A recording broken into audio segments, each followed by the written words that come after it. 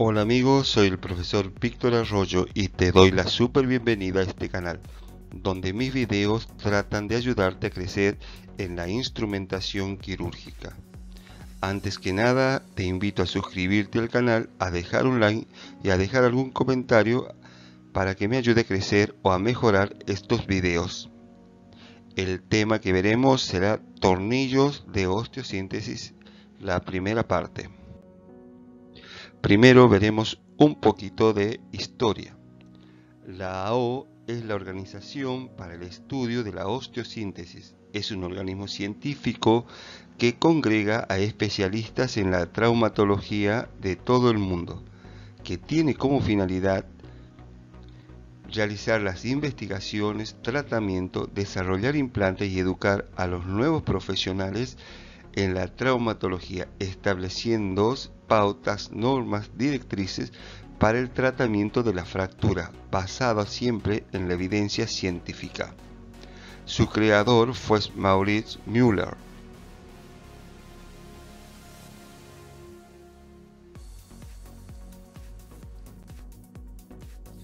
La osteosíntesis, como sabemos, no solo está marcada por clavos y tornillos, sino también vamos a trabajar sobre los cerclajes con clavijas y alambres, grampas, tornillos canulados, clavo placas con tornillos deslizante, placas más tornillos, clavos medulares con tornillos eh, acerrojados, desbloqueados, y tutores. Clavos, clavijas y alambre es lo que veremos ahora. Vamos a hablar de los clavos y clavijas. Acá tenemos una clavija, vamos a ver su estructura. Primero presenta un punta trocars de trilaminar de tres lados, un cuerpo y un extremo distal. Ya sea los clavos o las clavijas, su extremo distal pueden ser en punta roma, final o también de, eh, de punta trocars o con punta biselada. Ahora veamos de acuerdo a su diámetro. Tenemos las clavos o clavijas se van, a, se van a clasificar de acuerdo a su diámetro, tenemos los clavos de, eh, los clavos de Steinman y las clavijas de Kirchner. Las clavijas de Kirchner, que son estas, van a ser las más finas, van a ser de 0,5, de 1 milímetro, de 1,5, de 2, de 2,5 o de 3 milímetros de diámetro. Estos serían los eh, los clavos o clavijas de Kirchner. Estas clavijas se utilizan para hacer reducción, cerclaje o u osteodesis, mientras que los clavos de Steinman, su calibre van a ser mayores, son de mayor tamaño, van, del, van a ir del 3,5, del 3,5, del 4, del 4,5, del 5, del 5,5 y estos clavos de Steinman se utilizan para realizar las tracciones esqueléticas. El alambre quirúrgico que se utiliza, el alambre quirúrgico que se utiliza para hacer cerclajes o fijaciones de tejido óseo presentan diferentes diámetros según eh, su necesidad de uso. Entre ellos tenemos alambre de 5 5 milímetros, eh, de 1 milímetro, de 1,5 milímetros, de 2 milímetros o de 2,5 milímetros. Este implante se puede utilizar de manera única o de manera combinada entre alambres y eh, clavijas o alambre o en una osteosíntesis con placas y tornillos.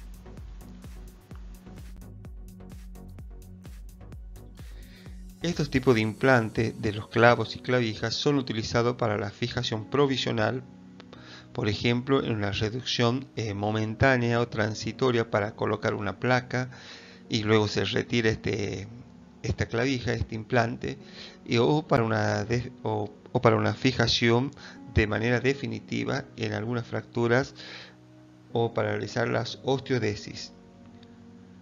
Comúnmente son más usadas en frecuencia en pequeños fragmentos de la región metafisiaria o epifisiaria de los huesos largos.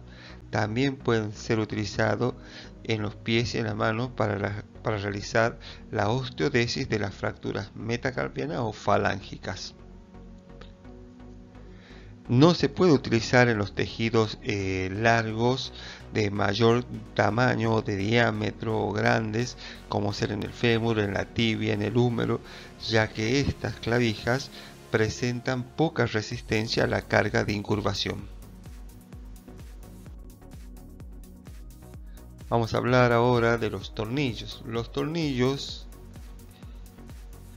los tornillos que son estos, que vamos a ver la clasificación, los diferentes tipos de tornillos, porque no todos los tornillos son los mismos, se pueden utilizar como método de fijación, por ejemplo, en la fijación eh, de una placa, en este caso, para, para fijar la fractura, esta es una placa en T, ya vamos a ir aprendiendo de a poco este tema fijado con tornillos corticales y tornillos de esponjoso.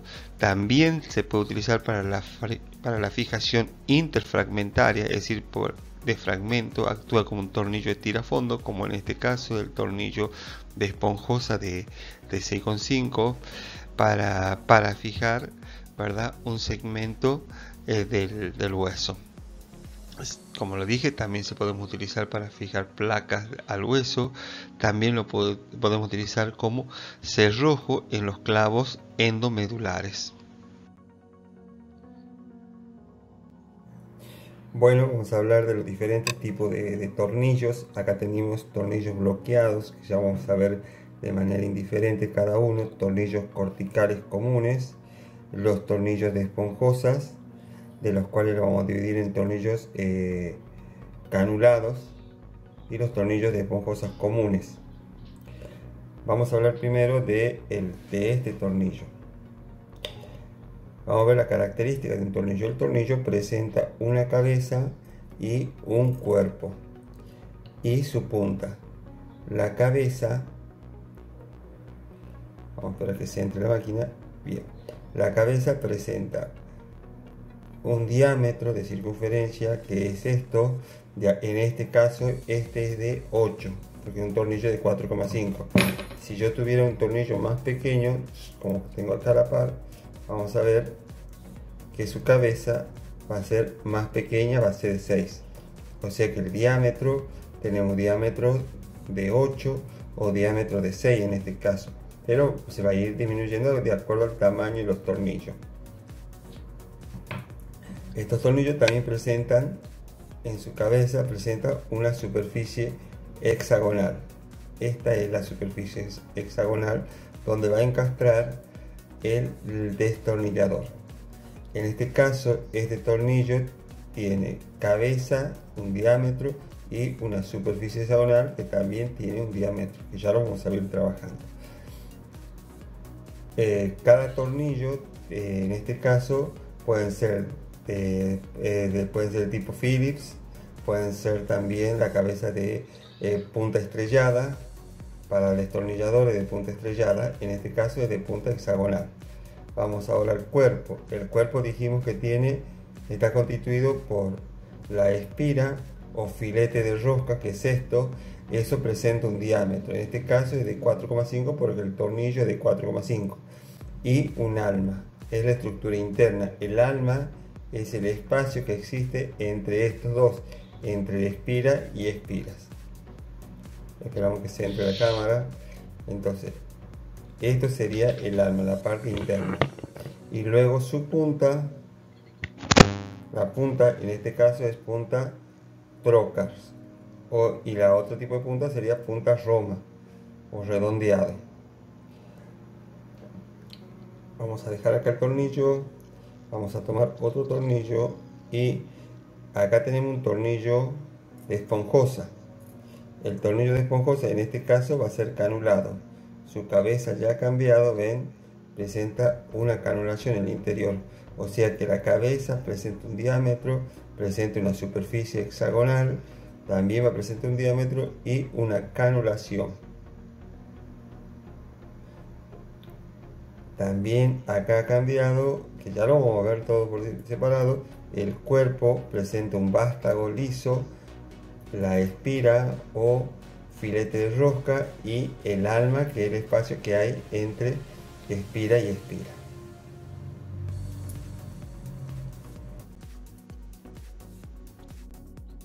En la clasificación tenemos tornillos autoterrajantes y tornillos no autoterrajantes de acuerdo al ingreso al tejido óseo. Los tornillos autoterrajantes presentan en su punta una punta trocars. Son de punta trocars. Que esto facilita el ingreso del tornillo en el interior del hueso e inclusive puede crear o labrar su propia espira o, rosca en el tejido óseo. Mientras que los tornillos no autoterrajantes necesitan de una mecha para crear el orificio o el conducto y también necesitan de una terraja macho para de igual diámetro al tornillo para crear eh, la rosca o espira en el interior del tejido óseo.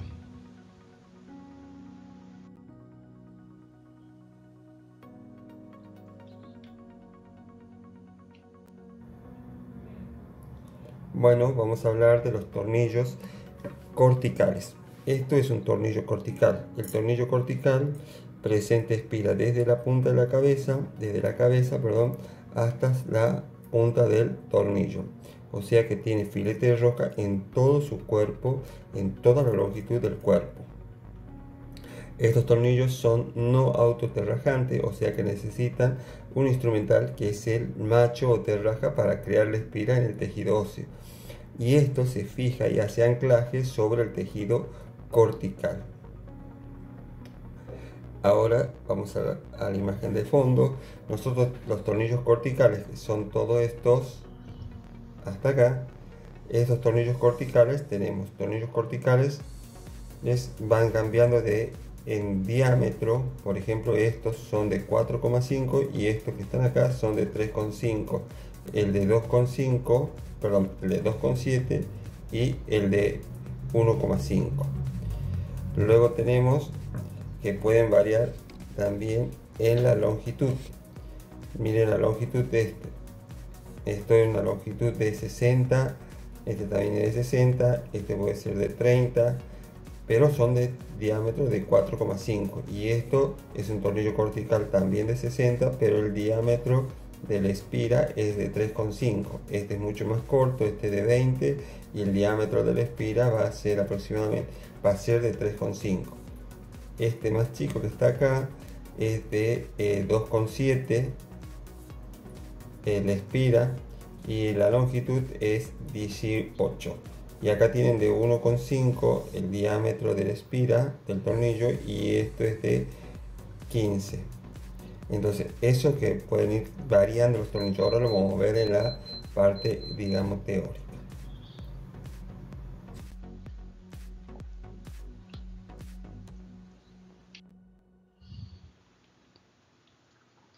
Ahora, los tornillos corticales se lo clasifica de acuerdo a su diámetro. Vamos a empezar a ver las características de cada tornillo cortical tenemos los tornillos corticales de 4,5 milímetros como dijimos recién. Estos son tornillos corticales de 4,5 milímetros de milímetros de diámetro. Lo que va a ir modificando cambiando son las longitudes de los tornillos. Eh, la espira o rosca de estos tornillos de 4,5 va a ser de 4,5 milímetros de diámetro. El diámetro del alma la parte interna de este tornillo va a ser de 3 milímetros mientras que el diámetro de la cabeza, esto va a ser de 8 milímetros y su cavidad hexagonal va a ser de 3,5 milímetros. Su cavidad hexagonal. La longitud puede, va a ser de 14, 16, 18 milímetros, va de 2 en 2, hasta alcanzar los 60 milímetros de longitud. Vuelvo a decirle, el diámetro del tornillo, que es esto, es de 4,5 milímetros, pero la longitud, esto es lo que va a ir variando, va desde los 14 milímetros hacia los 60 milímetros. Y su tamaño va variando de 2 en 2 milímetros. Para colocar estos tornillos se va a utilizar una mecha de 3.2 o de 3.5. Quiere decir que la mecha va a ser menor al tornillo. Se va a utilizar un macho o terraja de 4,5 milímetros, quiere decir igual al tornillo. Y se va a utilizar un destornillador de 4,5, similar al tornillo en tornillos corticales de 3,5 el que vimos recién fue el de 4,5 y ahora vamos a ver este que es de, 3,5 los tornillos corticales de 3,5 el diámetro del tornillo ya ha variado es menor es un punto menos al anterior o sea que este tornillo cortical que es de 3,5 el diámetro de la rosca va a ser de 3,5 milímetros de diámetro el diámetro del alma que va a ser menor va a ser un punto menos 2,5 milímetros de diámetro. El diámetro de la cabeza, en el anterior era 8, en este el diámetro de la cabeza va a ser 6 y la cavidad hexagonal acá va a ser de 2,5 milímetros de diámetro. Ahora, para colocar estos tornillos se va a utilizar una mecha de 2,5, es decir, un punto menos que el tamaño del tornillo. O sea que el, número de la mecha va a ser de 2,5 o 2,7 y la terraja a utilizar debe, deberá ser igual, va a ser de 3,5. Ahora veamos los tornillos corticales de 2,7 o también podemos encontrar de acuerdo a las ortopedias tornillos corticales de 2,5 milímetros. Si fuese un tornillo cortical de 2,7 el diámetro de la espira va a ser de 2,7 milímetros de diámetro. El diámetro del alma va a ser 1,5 milímetros, el diámetro de la cabeza va a ser de 5 milímetros de diámetro y la cavidad, hexagonal va a ser de, 3, de, perdón, de 2,5 milímetros. Por ende, el destornillador que voy a utilizar en este tornillo cortical de 2.7 va a ser el destornillador de 3,5. Para colocar este tornillo de 2,7 se va a utilizar una mecha de 2 y una terraja de 2.7.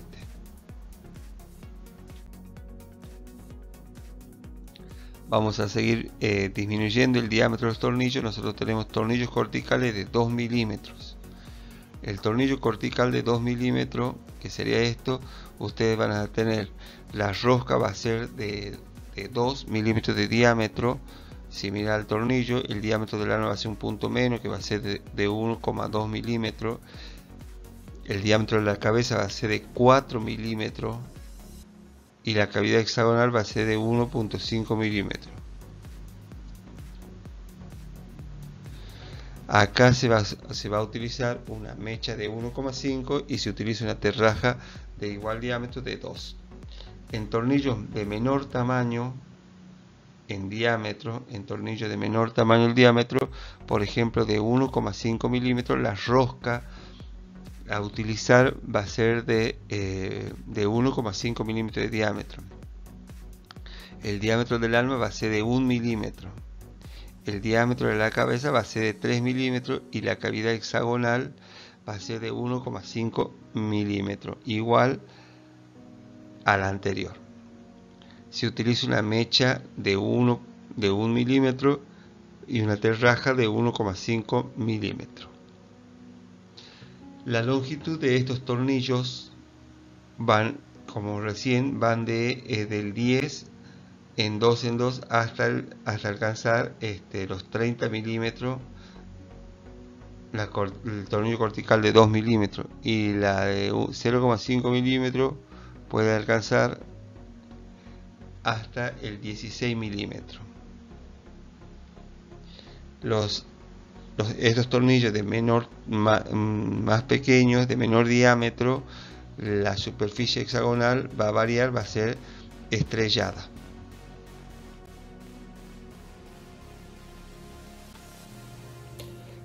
vamos a hablar de los tornillos eh, bloqueados que se, son parecidos a los tornillos corticales en su cuerpo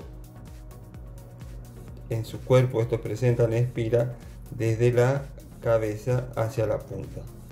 La diferencia está en la cabeza. La cabeza es de estructura cónica y que también como se observa acá presenta espira. En la parte superior de la cabeza va a presentar la superficie hexagonal para la colocación del destornillador. Estos tornillos, ustedes vamos a encontrar tornillos bloqueados de 5 o de 4 con 5. También vamos a encontrar tornillos bloqueados de 3,5, de 2,7 o de 1,5. Como dije recién, la cabeza presenta espira, ¿verdad? O rosca alrededor, que se va a fijar en la placa. La placa presenta en su orificio, va a presentar espiras también o rosca para la fijación de la cabeza del tornillo. Ahí están las espiras que presentan que presentan los orificios del tornillo.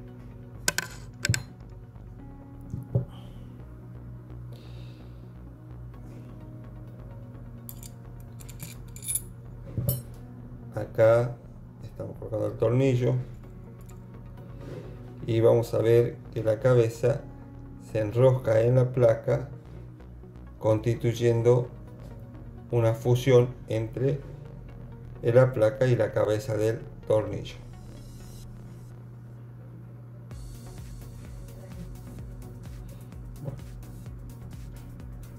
Esto le permite mejor fijación, la distensión del tornillo en diferentes angulaciones.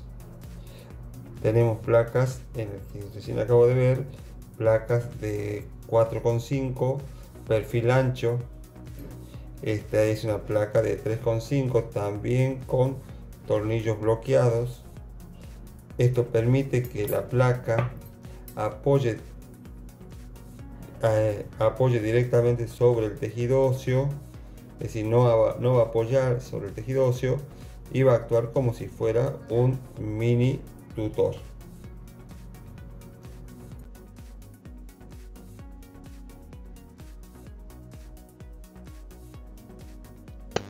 tornillos de fijación pueden ser tornillos bicorticales cuando se fija en ambas corticales del, hueso o unicorticales cuando se fija en una corteza del tejido óseo.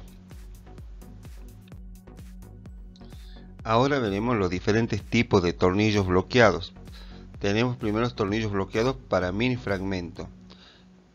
Su diámetro para estos tornillos de mini fragmento van a ser de 1,5 milímetros, de 2 milímetros y de 2,5 milímetros.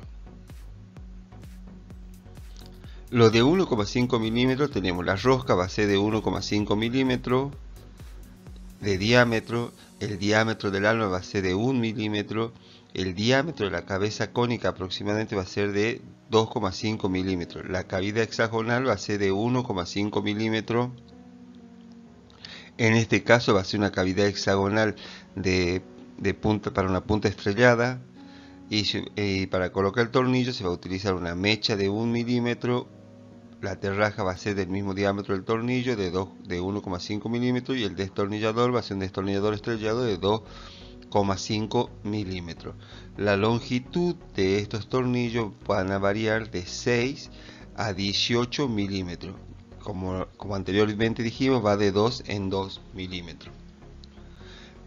Luego tenemos los tornillos bloqueados de 2 milímetros. Tornillo bloqueado de 2 milímetros son un poquito más gruesos que el anterior.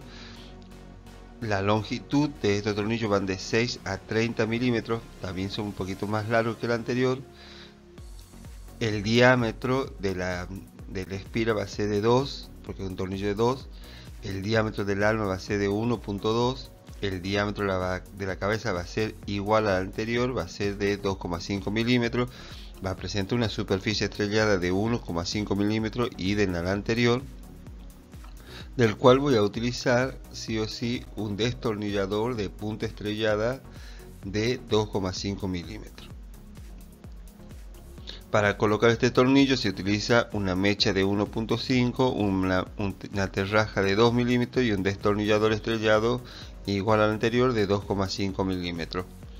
Para los tornillos bloqueados de 2,5 milímetros, de 2,5 milímetros, tenemos que la rosca va a ser de 2,5 milímetros de diámetro, el diámetro del alma va a ser de 1.5 milímetros, el diámetro de la cabeza en cono va a ser de 2.5 milímetros y la cavidad hexagonal también de este tipo estrellada va a ser de 1,5 si nos fijamos, tanto los tornillos bloqueados de 1,5 como los tornillos bloqueados de 2 o los tornillos bloqueados de, 2,5 milímetros van a utilizar el mismo destornillador, ya que la cavidad hexagonal de estos tornillos siempre se ha mantenido constante, es de 1,5 para los tres, 1,5, 1,5 y 1,5 milímetros. Lo que ha ido variando solamente ha ido variando el diámetro eh, de la espira o rosca de los tornillos. E inclusive la cabeza se ha mantenido del diámetro.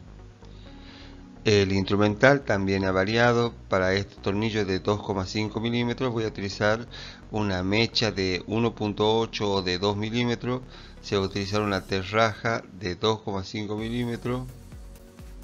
Y el destornillador, como dije recién, va a ser de 2,5 milímetros.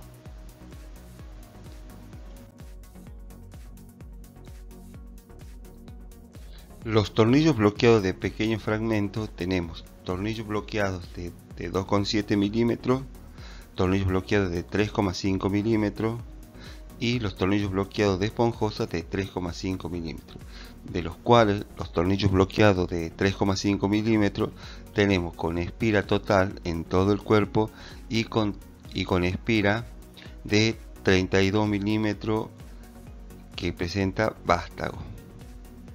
Ahora, los tornillos bloqueados de 2,7 milímetros, que también podemos encontrar de 2,5 van a tener su rosca va a ser de 2,7 milímetros de diámetro. El diámetro del alma va a ser de 1,5 milímetros. El diámetro de la cabeza que es en cono de 3 milímetros, continuando la característica de los tornillos anteriores. La cavidad hexagonal va a ser de, de 2,5 milímetros y para esto vamos a utilizar para colocar este tornillo vamos a utilizar una mecha de 2 milímetros el macho o terraja de 2,7 milímetros igual al tornillo y un destornillador hexagonal de 3,5 milímetros. Bueno acá cambió el destornillador verdad diferente al anterior que era de, eh, de punta estrellada de 2,5 en cambio acá la superficie hexagonal de la cabeza del tornillo es de 2,5 milímetros. Por, por, lo tanto, vamos a utilizar un, destornillador con punta hexagonal de 3,5. Tanto los tornillos de bloqueo de, 2,7 como los tornillos bloqueados de, de 3,5 milímetros y los tornillos de esponjosa de 3,5 milímetros van a utilizar el mismo destornillador, ya que su cabeza en su superficie hexagonal todos van a presentar una cavidad hexagonal de 2,5 milímetros. Ahora, los tornillos bloqueados de 3,5 milímetros, la rosca va a ser de 3,5 milímetros, el diámetro del alma va a ser de 2,5, el diámetro de la cabeza que es en cono ya va, va a aumentar un punto más, va a ser de 4 milímetros, la cavidad hexagonal se mantiene, va a ser de 2,5 milímetros como recién le conté, y se utiliza para colocar este tornillo eh, la mecha de 2,8 o 3 milímetros, el macho terraja de igual tamaño al tornillo de 3,5 y el destornillador hexagonal de 3,5 milímetros igual que el anterior. Ahora, para colocar los tornillos bloqueados de esponjosa de 3,5 milímetros, ya sea con espira media o con espira completa, vamos a tener, vamos a tener este tornillo va, presenta la siguiente característica. La rosca de 3,5 milímetros, el diámetro del alma va a ser de 1,5 milímetros, el diámetro del alma, y el diámetro del vástago, para aquel que presente vástago, el vástago va a ser de 2,5 milímetros. El diámetro de la cabeza en cono va a ser de 4 milímetros, la cavidad hexagonal va a ser de, eh, de 2,5 milímetros, la mecha a utilizar para colocar estos tornillos va a ser de 2,8 o de 3 milímetros y se utiliza una terraja de 3,5 igual al diámetro del tornillo y el destornillador a utilizar va a ser un destornillador de 3,5 milímetros.